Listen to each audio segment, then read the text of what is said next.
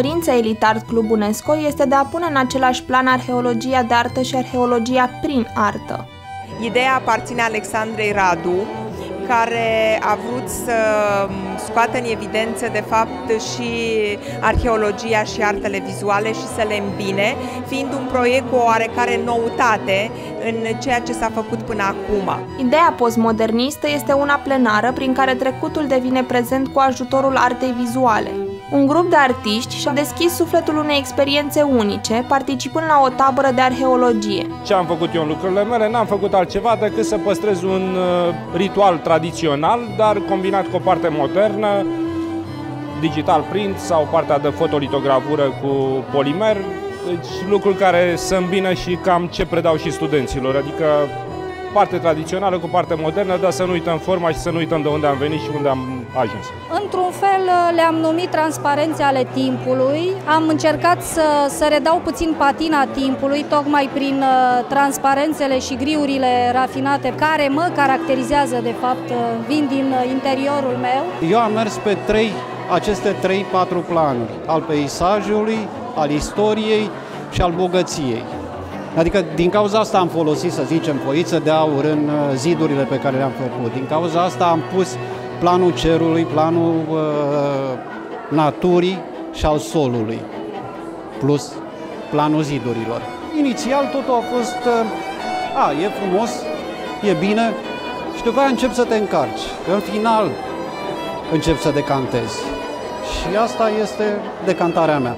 Vizita lor la situl arheologic a fost o incursiune în timp ghidată de arheologi, lucru ce le-a permis să reconstituie imagini ale trecutului istoric și ale etnogenezei poporului român. Am conceptualizat un pic uh, tot ce înseamnă ideea de istorie de zid de piatră, uh, integrând astfel uh, elemente de limbaj plastic, adaptându-le să spunem, artei contemporane. Am avut privilegiul de a fi ghidați de arheologul care lucra la sit și cu atât mai mult a fost o apropiere sentimentală, să spunem, de tot ceea ce înseamnă uh, lucrurile redescoperite de atâția, de atâtea sute de ani. Pot să spun că și o mică parte din ideile mele, ale noastre, se reflectă aici, dar în principal fundalul care nu ține de sat, ci ține de sit, uh, ne, ne reprezintă în mare măsură. Pentru prima dată am avut câțiva artiști generoși care au venit la Sarbi Seghetuza să se intereseze și din alt punct de vedere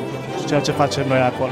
Acolo ne văd în principal sătenii și turiștii, care ne văd unii mai exotici, alții foarte interesați, așa, va, la voi ca la Discovery. După o zi, două, tot mergând la situl arheologic, începeai să te încarci cu foarte multe idei, cu foarte multă dorință de a aduce puțin în societate ce se întâmplă acolo. Și cred că de aici a, a ieșit expoziția bine. Cred că a ieșit bine, pentru că toți au, au fost foarte impresionați și toți au avut dorința de a spune celor care nu ajung acolo că sunt niște lucruri minunate care trebuie păstrate. Ne-am încărcat uh, 10 zile acolo cu uh, istoria și uh, am uh, realizat câteva lucrări, o parte le-am făcut în atelier, dar uh, marea majoritate acolo.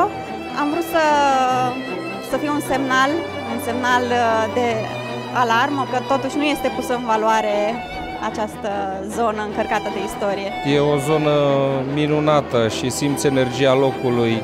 Mi-a făcut plăcere ca simpozionul de la Sarmi Săgetusa să se uh, suprapună cu intențiile mele și uh, căutările mele, zona de cercetare pe care am avut-o cu arta romană în special. Investigația antropologică care vede omul în ambientul lui, în trecutul lui, în artefactele lui, în tradițiile lui, uh, uh, este uh, o influență benefică și faptul că ați mers spre această lume daco-romană este un lucru important pentru că este o lume de o vizualitate excepțională. Cetățile dacice, care nu sunt mai dincolo de Ulpia, sunt un unicat Elite Art Gallery va găzdui o serie întreagă de astfel de evenimente prin care artiștii să fie implicați în proiecte cu impact. Chiar acest proiect îl doresc să fie un proiect de responsabilitate socială, el va fi itinerat și îmi doresc să îl duc în cel puțin trei țări.